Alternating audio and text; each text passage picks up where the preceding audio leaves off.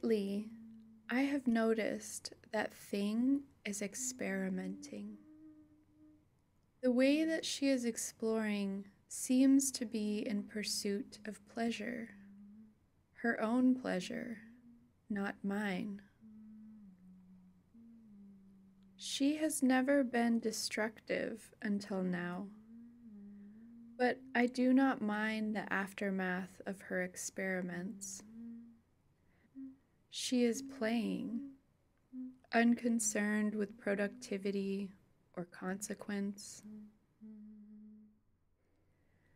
She has opened up to the world of stimulation, the understanding that objects are not just for function nor consumption, but for tactile delight.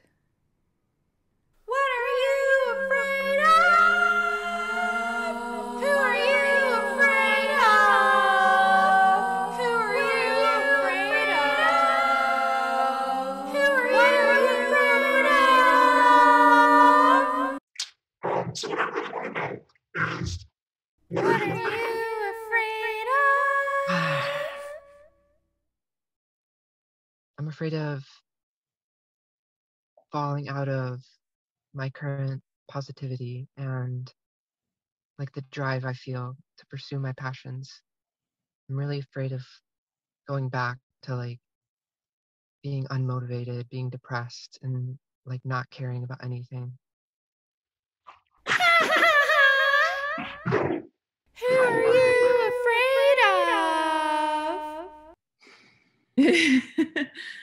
uh, I'm really afraid of, um, I guess, like people who make assumptions about me or people I love and might be violent towards us. Um, and in that same regard, too, like, even sometimes, like doctors, I'm afraid of because of my lived experience with the healthcare system and how the people who are sometimes supposed to help me harm me.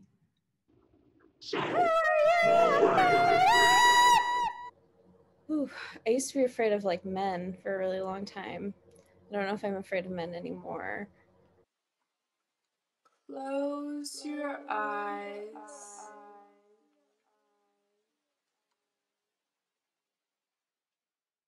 Relax your body and feel yourself stretching gently into a new shape.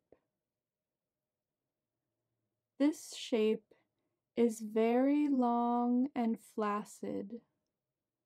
No effort is made in becoming this shape, and it feels good to melt down and slide out ever longer.